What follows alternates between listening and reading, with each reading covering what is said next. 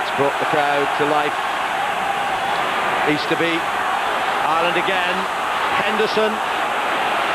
Rather like Scott Gibbs, takes him on full frontal. That's good ball. Foley slips it. O'Gara, better pace here. O'Driscoll once again.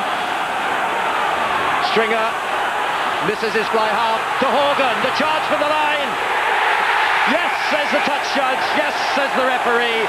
Ireland are back in business. Horgan the scorer, and that's his fourth in three games.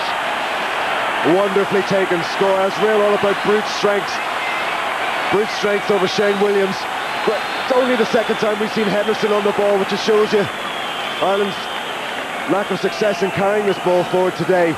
But again, that quick work ball moved away. Wonderful sleight of hand inside to Brian O'Driscoll, who again makes those vital yards. And Shane Horgan just plows, plows over. In fact, it was Rhys Williams in the corner. Wonderfully taken score. So, a try that brings Ireland within three points. And the conversion still to come. We've played quarter of an hour, just over that of the second half. And there's the man, he's six feet four, 15 stone. That was the key factor in the end. Sheer brute strength, as Philip Matthews said, for the 21-year-old.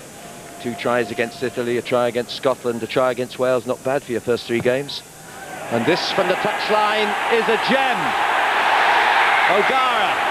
And now, just live with us the excitement of Lansdowne Road. It's Ireland 16, Wales 17.